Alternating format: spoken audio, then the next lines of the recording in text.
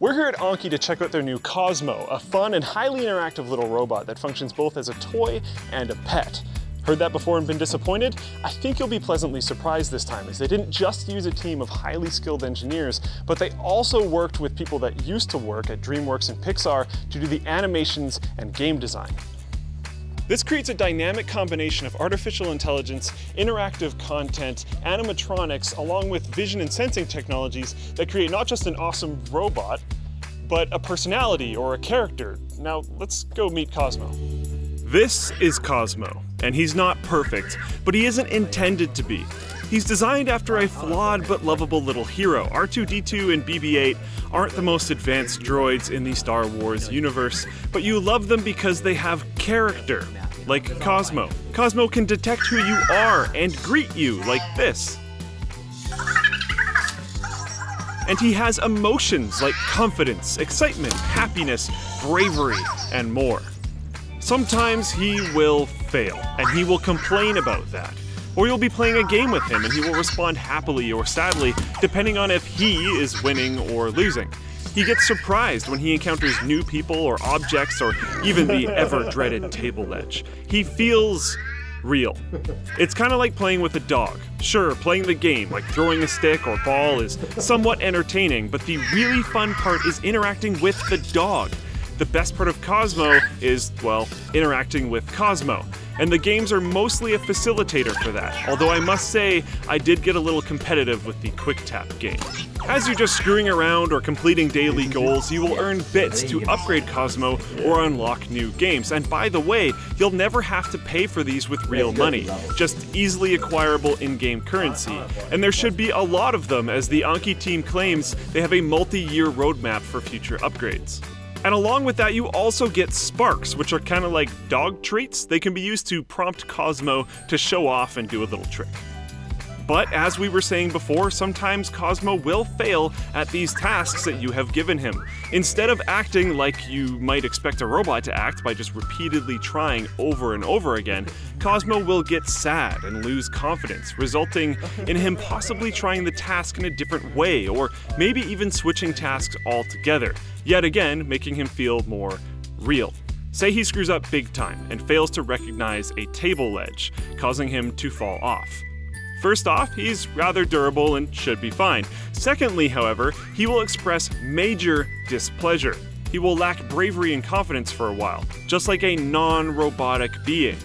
On the flip side, when Cozmo is excitedly doing fun things and succeeding, he will check in with you from time to time, making eye contact, calling your name, just like a happy kid would, and he'll go around and do a bunch of different things. Lots of what gives Cozmo this great personality is subtle, as it should be. The emotional algorithms, huge library of animations, dynamic interaction, incredibly awesome eyes, if you haven't noticed, and even a soundtrack. They aren't necessarily uh, things you would actively think about, but together they make a wonderful experience. Now let's look more in depth at what's happening under the hood. Most of the computational power for Cozmo, including AI, computer vision, etc., is done through your phone, meaning you need to be connected at all times to Cozmo's Wi Fi network. So, just as a note, this does mean you won't be connected to the internet on your phone. While this does sort of suck, to be honest, this is good for another reason, which is very possibly more important to you. You're always offline, meaning that no pictures or video are taken, no voice is recorded. Your private conversations with Cozmo or things that he sees and hears are yours and don't go anywhere else.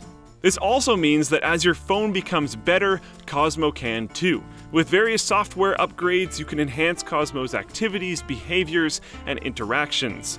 Anki has a multi year roadmap, as we mentioned earlier, for future upgrades, but if you want to make your own or rely on other people's creations, they offer an extensive Python SDK with great documentation available at developer.anki.com. Robotics programming has a crazy learning curve. Computer vision, path planning, 3D world modeling, all these things are highly difficult, and this API can make them easy with simple imports and function calls. And if you're more interested in the artsy animation side of things, however, do not fear. There will be a Maya animation kit with JSON output available later on. Now, Cozmo is made up of 320 individual components, and it took 45 entire mechanical iterations to achieve his final form. In the end, for computer vision, they ended up with a forward facing camera and a cliff sensor. The cliff sensor is on the bottom of Cozmo and will mainly be used to keep him from falling off of tables. The camera is used to detect faces and familiar objects with QR code style identifiable images on them.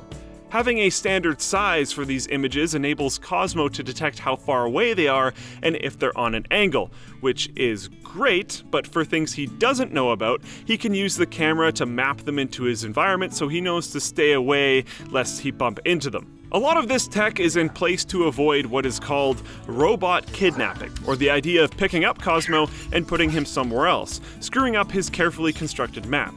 He will then be able to find objects that he is used to seeing, like one of the boxes that has a QR code on it, map its position in the space, and then try to figure out where he's at. It's a smart little way to make him not be constantly, constantly confused while you're interacting with him.